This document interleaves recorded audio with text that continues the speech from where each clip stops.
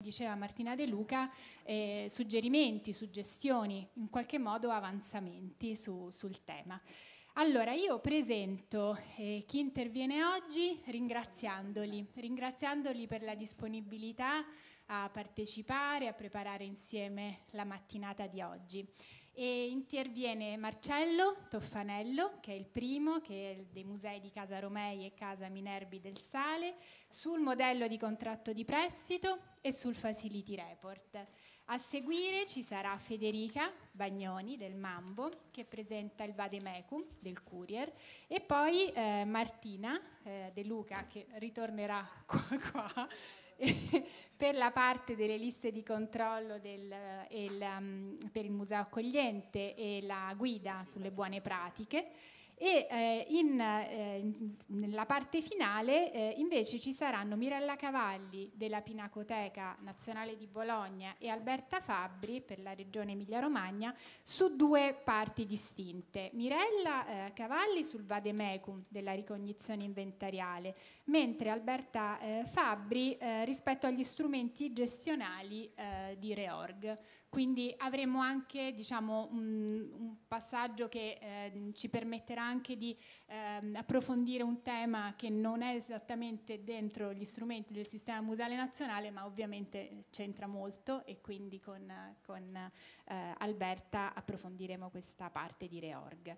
Um, alcuni di loro hanno partecipato ai laboratori che hanno prodotto gli strumenti, in particolare Federica e, e Mirella. E quindi diciamo, conoscono un po' la genesi, come sono nati e le scelte anche di inserire degli aspetti piuttosto che altri. Altri invece, come Marcello, eh, non, non hanno partecipato al laboratorio. Ecco, ci interessava proprio come dire,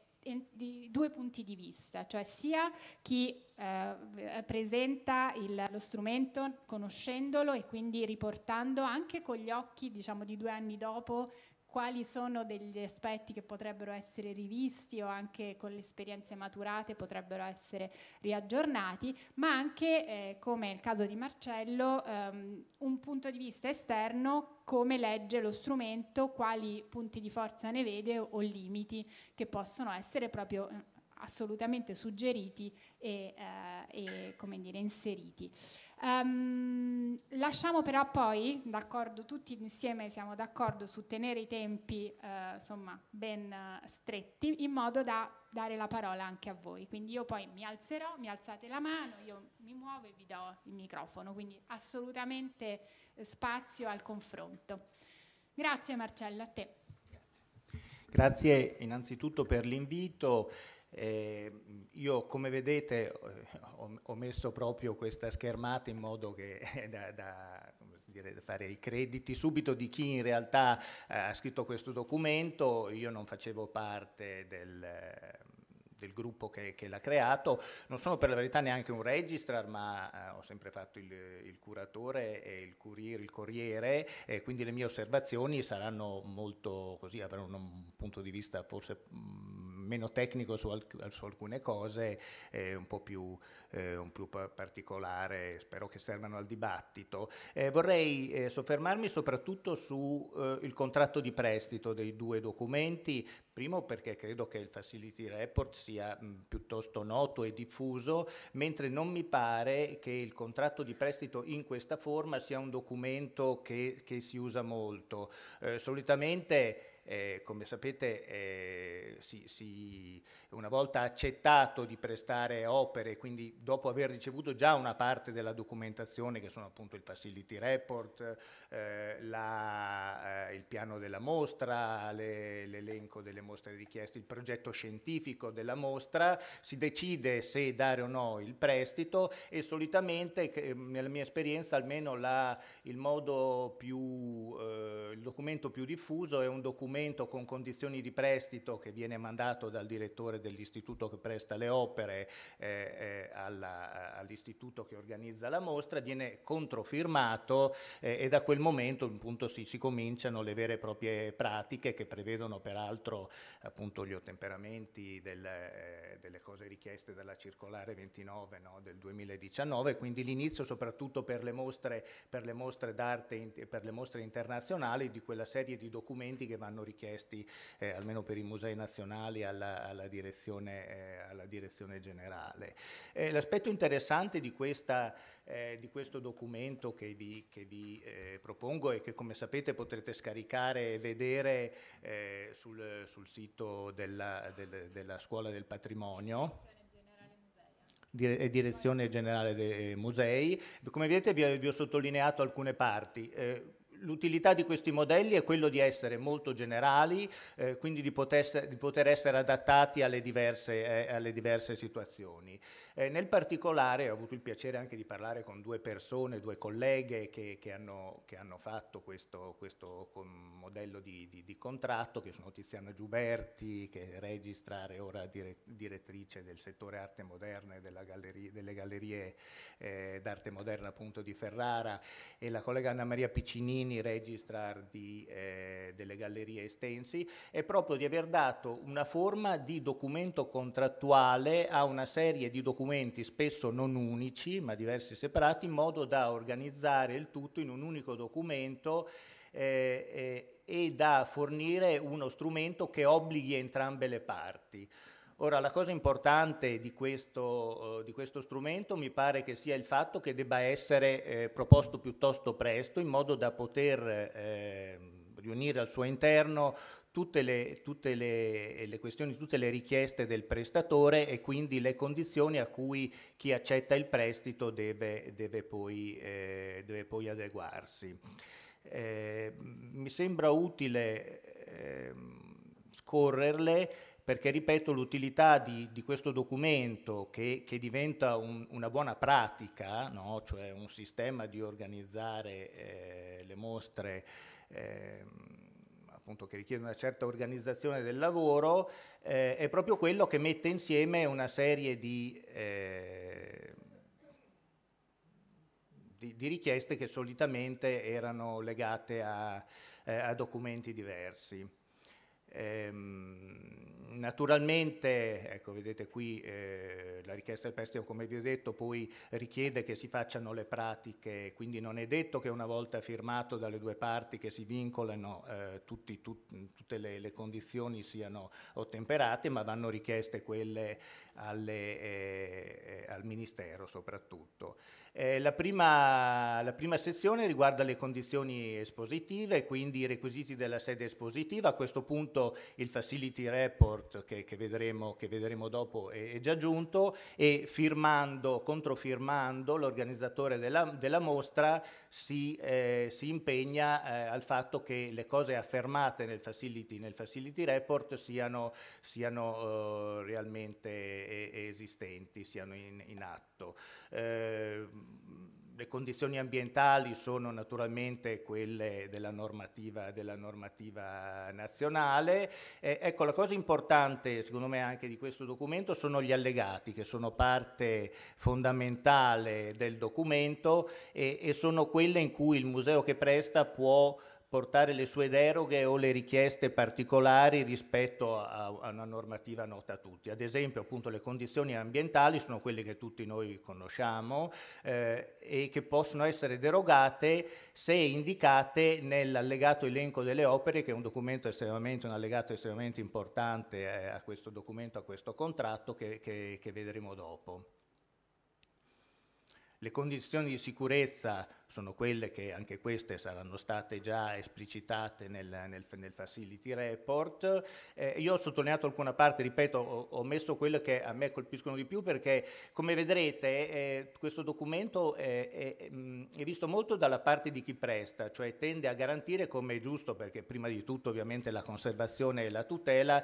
tende molto a garantire il fatto che chi riceve il prestito poi garantisca appunto conservazione, tutela e sicurezza. Vorrei evidenziare però un altro aspetto che ricevere un documento del genere controfirmato è molto importante anche a chi, chi organizza la mostra, perché vuol dire, come vedete nel, nella parte sottolineata qui, che fin dall'inizio si sanno già quali sono tutte le richieste del prestatore e quindi tutte quelle cose che andranno a incidere sui costi, compreso l'allestimento. Eh, in questo caso richiedere, oltre alle condizioni di sicurezza già garantite dal museo e, e, e specificate nel facility report, particolari di distanziatori, teche e eh, cose del genere, ovviamente vuol dire dover prevedere un costo da questa parte, ma anche sapere da parte dell'organizzazione della mostra che queste cose verranno richieste e, e, e andranno messi come spese, come mm, motivo di spesa nell'organizzazione della mostra. Un'altra sezione dedicata all'imbellaggio eh, e,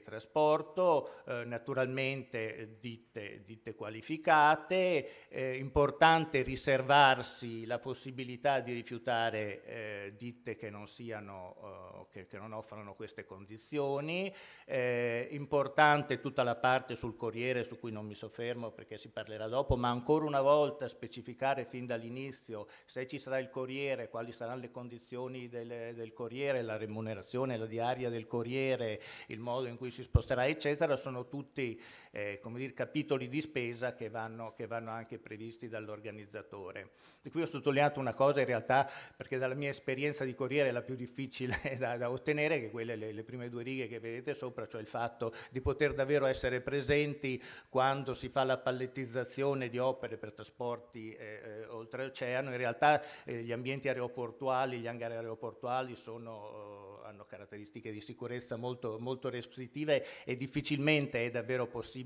vigilare per tutto il tempo, solitamente vengono pallettizzati, lasciati. Si può però richiedere chiedere ad esempio che qualcuno di un'agenzia eh, di trasporto eh, autorizzato eh,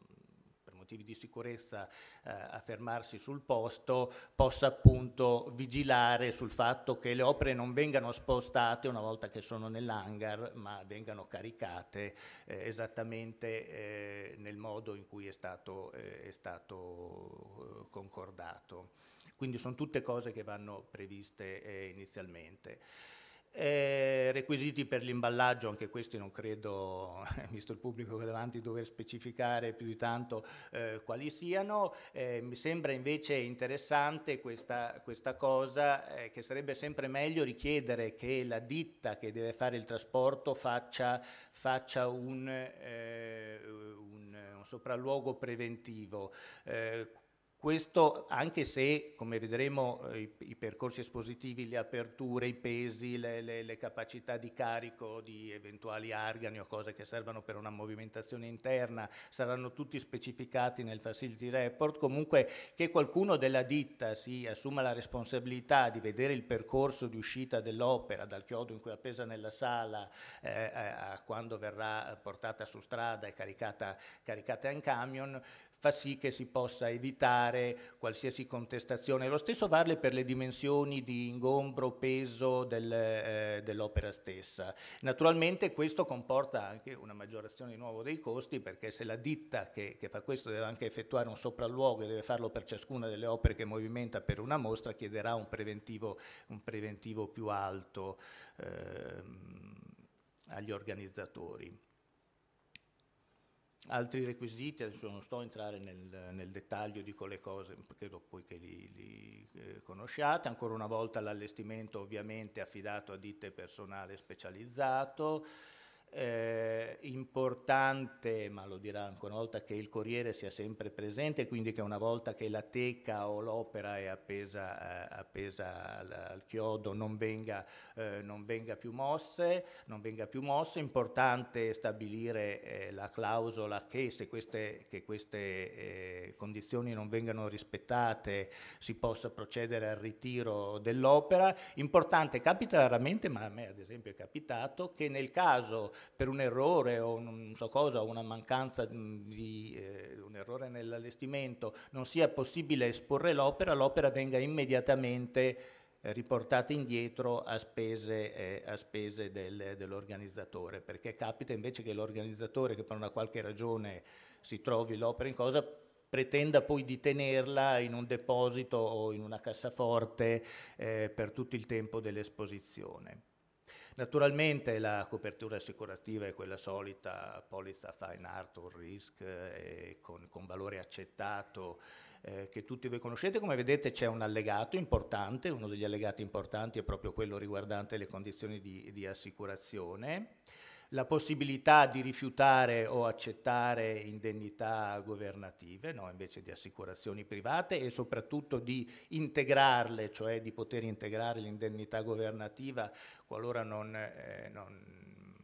non contemperi eh, particolari tipi di rischio, integrarla con, una, con un'assicurazione eh, privata. Eh, le procedure in, ca in, caso di danno, va bene, sono ehm, queste abbastanza scontate. Le mansioni del Corriere eh, le vedete qui scritte, ma ripeto, non mi, non mi soffermo perché ne parlerà poi la, la collega eh, in, un secondo, in un secondo momento. Adesso si è sviluppata anche molto la possibilità del corriere virtuale, soprattutto dopo il Covid, quando siamo stati costretti a farlo, no? eh, capita che attraverso una telecamera si possa eh, seguire da remoto l'allestimento e la movimentazione delle opere, questa è un'altra, eh, un'altra mm, possibilità. Il condition report ovviamente, i condition report ovviamente sono un altro dei documenti allegati, anzi eh, eh, che fondamentali per, per, il prestito. Eh, eh, ancora una volta voi tutti sapete cosa sono, ovviamente vanno fatti basati sulla scheda conservativa dell'opera, la prima cosa si dice che eh, in partenza le condizioni sono immutate rispetto alla scheda conservativa conservata negli archivi del museo, poi si, si fanno tutti i passaggi ovviamente ogni volta che l'opera viene movimentata, quindi imballata, spostata, e, e, ma di nuovo credo che queste siano cose abbastanza... Mh, eh, comuni. Importante specificare i crediti, cioè specificare come il museo vuole essere eh, menzionato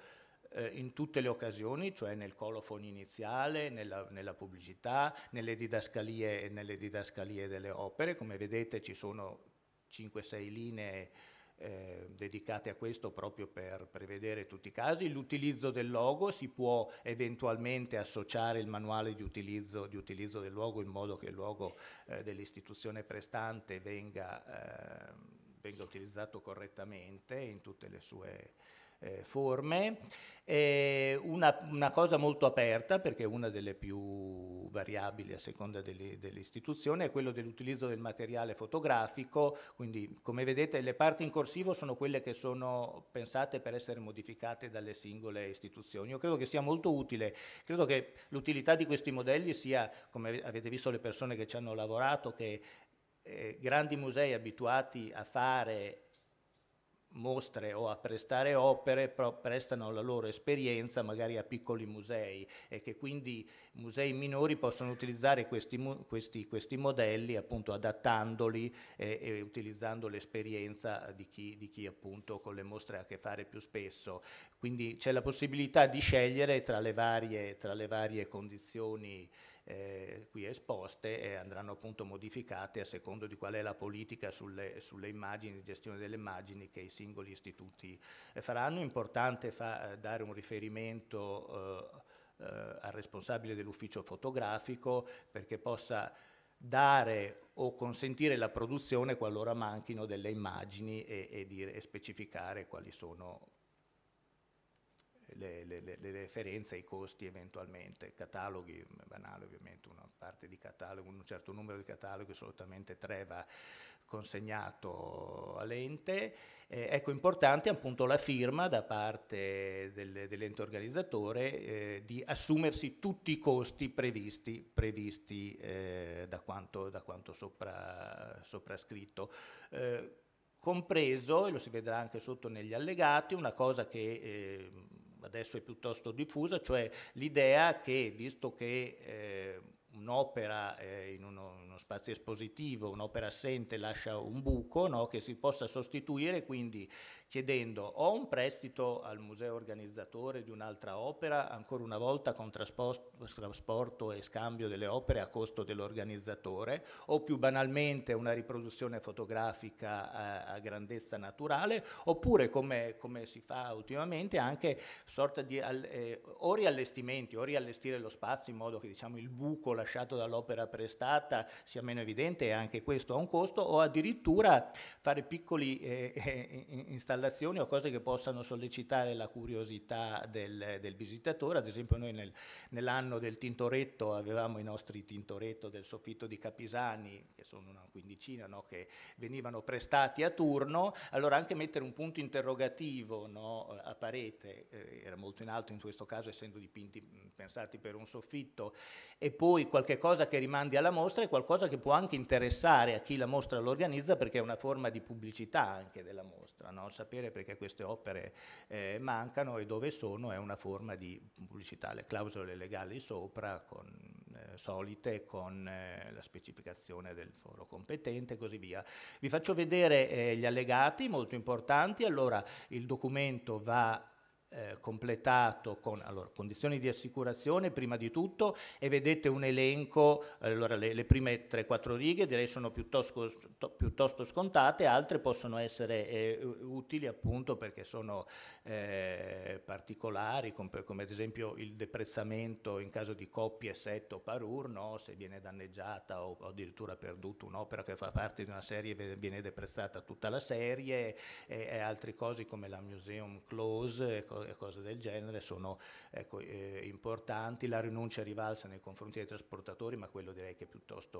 ormai diffusa anche questa, e la eh, il, il, pensare eh, a tutte le forme di rischio, anche quelle che solitamente sono escluse dall'all risk, ormai sono diventate purtroppo importanti, eh, anche quelle da atti di terrorismo anche durante il trasporto e ormai anche quelle per, per guerra, insomma. Mh, abbiamo appena prestato opere in Polonia, adesso insomma, insomma ormai purtroppo i, i, dire, le, le, zone di guerra si avvicinano tristemente e pericolosamente. Molto importante l'elenco delle opere con la schedatura, bio, banale ovviamente eh, il, eh, ciò che serve a, identificare il singolo, il singolo, pezzo, ma soprattutto le indicazioni per il trasporto e le indicazioni allestitive già messe in questa fase in modo da appunto prevedere costi e organizzazione eh, fin, eh, fin da principio. Eh, il resto appunto le richieste speciali, ancora vi ho sottolineato, vi ho evidenziato quelle che possono comportare costi e necessità organizzativi, il fatto di richiedere il restauro dell'opera prima che parta o un climabox o anche solo un vetro museale di protezione, qualsiasi forma di allestimento particolare eh, di, di, carattere protettivo che appunto comporta le stesse cose che si è detto, un eventuale ripristino a parete, queste cose le abbiamo già dette, richieste di costi amministrativi ormai sono mh, piuttosto diffuse, molto molti musei ormai richiedono, soprattutto musei che hanno eh, richieste eh, molto frequenti, richiedono, eh, non è esattamente una fee, cioè non un, un, un costo del prestito, ma una, una, un costo amministrativo, la co- una copertura di un costo amministrativo eh, per, il, per, il, tempo impiegato da, dagli uffici diciamo, per le pratiche e poi le richieste dei costi di riproduzione nel caso appunto le immagini debbano essere eh, fatte. Eh, non, eh, vi dico un'altra cosa che ho trovato bella e molto utile, che tutto questo esiste anche in versione inglese, il che appunto nel caso di mostre, eh, mostre internazionali è molto utile perché potete prendere questo modello anche appunto per eh, per, contro, per una controparte che non, che non mm, parli l'italiano. Eh, credo di averci messo molto, troppo, eh, ma sarò molto più, più, rapido sul facility eh, report perché insomma credo che sia uno strumento insomma, che beh, voi tutti già conoscete. L'utilità ancora una volta è quello di avere un modello nato da esperienze decennali di persone, quindi da, che possa essere utilizzato eh, anche da musei che solitamente, beh qui, qui, è un po' complicato perché in realtà qui il Facility Report ovviamente è il museo che, che, che fa la mostra eh, che, deve, che, deve, consegnarlo, qui avete, qui avete l'indice e le informazioni generali, vado per sezioni grandi, la presentazione dell'istituto ecco, può sembrare eh, banale da un punto di vista organizzativo, ma un, uno dei motivi per cui si presta a una mostra no, è anche eh, la storia e il prestigio dell'istituto, quindi eh, il fatto che l'edificio abbia una certa storia, se ce le ha delle, delle, collezioni e soprattutto gli eventi espositivi realizzati in precedenza fanno, fanno parte diciamo, del, del, pedig del pedigree, della, della, ehm, della, della autorevolezza del, eh, dell'istituto che, che, organizza la mostra, che sono fra eh, ehm, i motivi per cui si presta o non presta a una mostra. Eh, molto importanti, poi ovviamente sono tutti quelli relativi invece eh, alla sicurezza e alla conservazione. Eh, il modello proposto è estremamente dettagliato, credo che pochi musei possano riuscire a compilarlo tutto, ma è bene che ci siano tutte queste possibilità e appunto eh, che vengano ehm, compilate quelle, quelle, che è possibile. Si comincia dalla dall'ubicazione ne, nella città, quindi ad esempio una cosa che chiedono spesso le compagnie nostre se è in ZTL o no, se è raggiungibile, se è facilmente raggiungibile, se le, anche le strade, le dimensioni delle strade, perché ci si sposta comunque con camion, no? tutte queste cose sono eh, molto importanti, un inquadramento ambientale generale di rischio, quindi riguardante, eh, anche queste purtroppo sempre più frequenti, e alluvioni, eh, fenomeni sismici appunto, eh, ci siamo, ci siamo eh, rischi idrologici e di incendi non, non relativi all'edificio ma all'ambiente, all all esterno. Eh, la costruzione dell'edificio, eh, i materiali costitutivi dell'edificio ovviamente sono importanti per, da un punto di vista della, uh, della, sicurezza, come vedete sono molto dettagliate, è molto importante però appunto sono le, le e gli impianti, quindi eh, gli impianti di sicurezza, garanzia di una vigilanza diurna e, e, e notturna, eh, la, eh, le procedure in caso di eh, attacco terroristico o antincendio o di emergenza, di evacuazione non solo delle persone ma anche delle opere eh, in caso di emergenza, quindi come viene eh, eh, gestita un'emergenza, se, se si ha il piano allegarlo naturalmente eh, i vari sistemi di protezione e collegamento con le forze dell'ordine, vigili del fuoco così e i tempi di intervento e poi le cose consuete, insomma l'illuminazione, eh, la, la, climatizzazione, l'antincendio, eh, quasi sempre i musei stranieri richiedono, richiedono i, tracciati, i, tracciati, di temperatura e umidità, ovviamente delle condizioni eh, climatiche eh, addirittura degli anni, degli anni precedenti, quindi sempre bene registrarle farle, averle e allegarle, allegarle al modello. Eh, insomma, Ah, eccoci una cosa su cui si, si, si, eh, si, raccomandano molto i register sempre, i percorsi, le dimensioni dei percorsi, eh, soprattutto se non viene fatto una, eh, un, un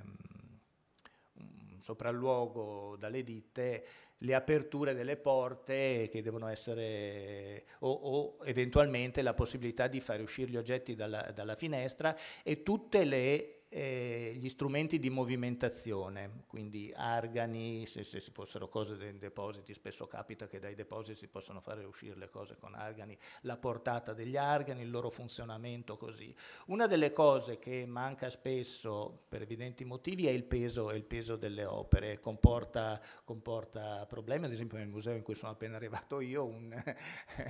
un eh,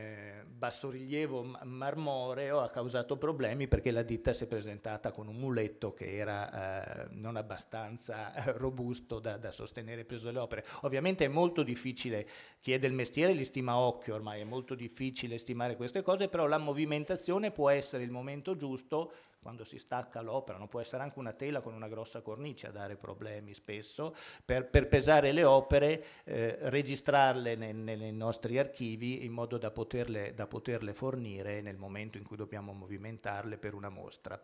Ecco, questa è la sezione dedicata all'edificio, se lo spazio mostra è, è diverso da quello dell'edificio, queste cose vengono in parte ripetute nello spazio mostre, giustamente nell'introduzione a questo documento si specifica il fatto che essendo questo un documento che va consegnato con notevole anticipo, le caratteristiche eh, peculiari dell'allestimento non sono previste solitamente in questo, in, questo, in questo documento perché l'allestimento viene a seguire una volta che gli organizzatori avranno ricevuto il consenso alle opere e avranno potuto fare un vero e proprio progetto, eh, progetto di allestimento. Io non vi, non vi terrei oltre, spero di essere state utili.